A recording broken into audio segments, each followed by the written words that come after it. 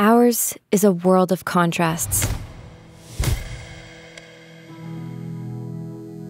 Where polar opposites carve out their own harmony. Grace collides with chaos. A battle of the mind meets one of the body. Courage and resilience are learned the hard way. Heart and spirit come easy. This is a journey of just one, and yet for all.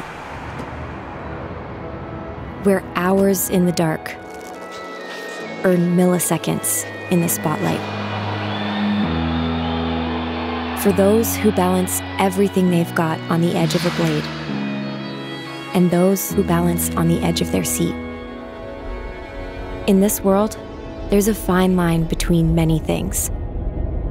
And while some choose to walk that line, we choose to race it.